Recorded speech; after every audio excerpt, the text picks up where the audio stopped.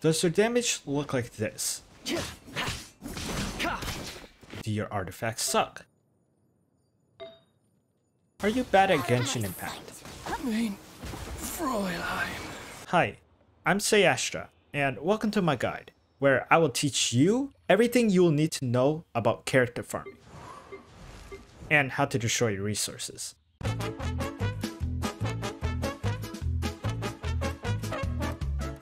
In order to level up your character as fast as possible, you're going to need some books and money. So before you even click on that wish button, take your 160 resin over to the ley lines and just spam it every single day until you become the Jeff Bezos and Albert Einstein of Genshin Impact. Once you have more than what you need, it is time to wish. First, fill up your wallet with some copium primogems. Then head over to the shop and convert them into intertwined fate for absolutely no reason. You should also do some rituals to convince yourself you have a better chance of getting your character. My personal favorite is the one where you kill off all of your characters. Oh, I'm feeling a little.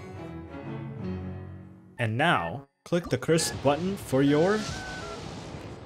Oh!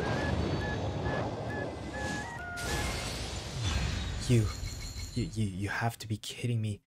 New character. After obtaining your character, your damage may look like this. That's even less than the amount of primogems I have. To change it, you're definitely going to need some better weapons and artifacts. There are two ways to get the best weapons for your character. The first being a little swiping for those 5 star weapons. The second, well, you see, there's a certain group of weapons that are just very good. If you head over to the blacksmith, talk to him, and click on this button right here, you will be taken to a shop of some of the best weapons in the entire game. Just like Wagner says, You'll find no second-rate items at Wagner's. What's good about these weapons is that they take less EXP to level up and have less ascensions, meaning you can max them out a lot easier than 4 or 5 star weapons, which is why they're just better. And you can also craft weapons using your abilities to help level up your 2 star weapons. As for the artifacts, all of the 5 stars are free of charge, except maybe costing your resin insanity. You'll probably have to switch up the artifact domains depending on your character, but this next part is the same for everyone. After obtaining your 5 star artifacts, you'll have to get some other artifacts, preferably these 2 star ones from Shiliu, and then equip them and enhance them with the 5 stars. These stats are actually so good because more HP means more surviving, and more surviving means more interesting gameplay. Crit damage? Who even needs crit damage? Again, these 2 stars are clearly superior because they only need 4 levels to max out. With the artifacts out of the way, you're going to need materials now, and a lot of it. The most important part of this guide is that you start on a Sunday. On this one specific day, every domain will have your required material, whether that be for your weapon or town. There is one problem you might notice though. You only have 160 resin to spend on this one day, so you can't possibly get all the materials. Right? Well, here's the thing. If you are observant, you might notice a plus sign next to your resin. Believe it or not, you can spend just 50 Primo Gems to get 60 resin back.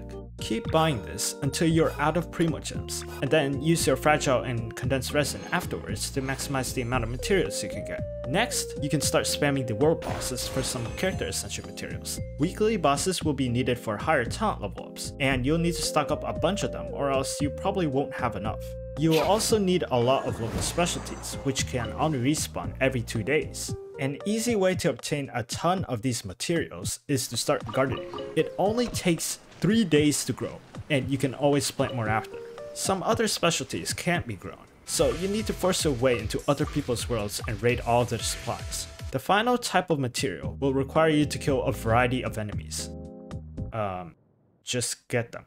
Alright, we have all of the materials for Arataki Itto. Boop, boop, boop, boop, boop, boop. Final ascension, and there we go. I think numero uno just went from nickname to reality. Boom! hey, but just because I made it to the top doesn't mean I'm gonna forget all the things you've done for me, okay? Still got your back, anytime, anywhere. His voice line is delayed. okay, um...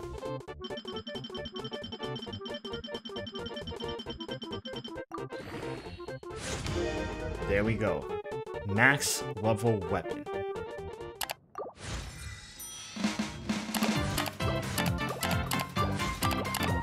Yeah, so about the uh, about the weekly boss materials.